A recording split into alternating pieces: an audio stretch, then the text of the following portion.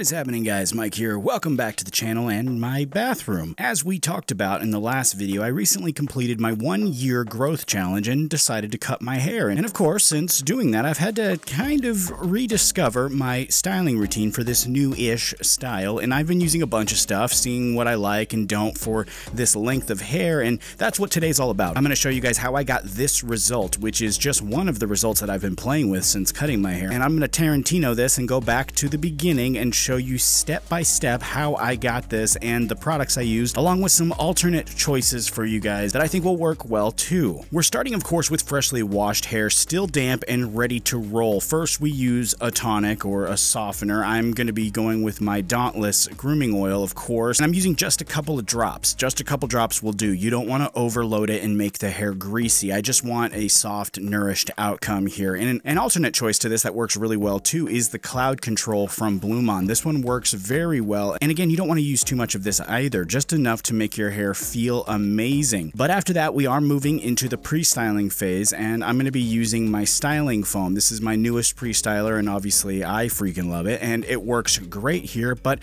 there's a lot you could actually use in this step if you wanted to. Some that I particularly like is Original by Blumaan. I've said that a million times. This one's eternal at this point. The Cornerstone is another one that's another great one. And if you want hold and texture, the Ace of Swords Clay Spray is the one for that. So there's a few that you could put to use here, but I am using the foam. I'm going to be using it because it has really great results. And I am using the heat to kind of speed along those results and get the most out of the style here. And no, I'm really not afraid of the heat. I think if I was going to go bald, I would have gone bald by now. And these days, being the father of two small children, this is about as dangerous as life gets for me. And after that's done, this is the result that I got here. I think we have some really nice hold, a really good foundation built there, but of course it's not done. We have to post style here and finish things up. Of course, I'm returning to the Cavalier clay for that, and I'm not sure why folks don't think I genuinely like this clay. I wouldn't use something this much for this long if I didn't actually like it. I mean, if you think about it, it really just wouldn't be worth it.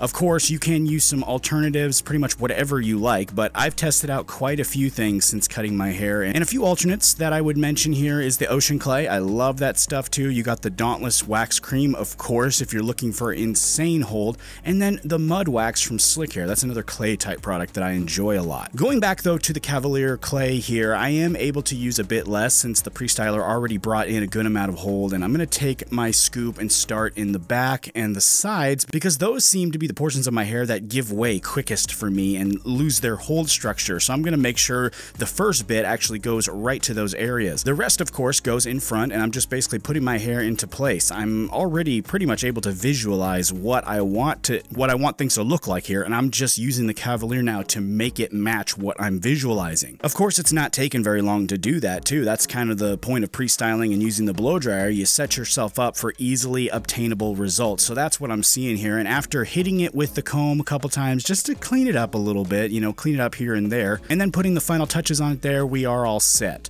This seems to be the routine that I think at least works really well as my hair is still kind of adjusting to being shorter. And in this phase, it just needs a little extra help and there's a little extra hold until it adjusts. But those products work just fine for that purpose. You can see it just works really, really great actually. And those alternates that I mentioned will also work just as well in my opinion. I do appreciate though all of you who were positive about the styling change too. That was really kind of you. The few of you that did send me words of encouragement on the style. I was a little bit iffy on it, but if you want to share your thoughts, go ahead and throw them in the comment section down below. I'm always interested in hearing from you guys. I always appreciate that. Make sure you also like this video and subscribe too. And that's super important because more than half of you watching right now still haven't found the button yet. I mean, it's the easiest way to support this channel and keeping content going. So just hit the button for me. It takes two seconds. You just you just need to do it at this point. That is it though. That's all I got for you today. I hope you enjoyed running through this routine with me. I will be back again very soon with an all new shampoo search. So until then, take it easy. I'll see you next time.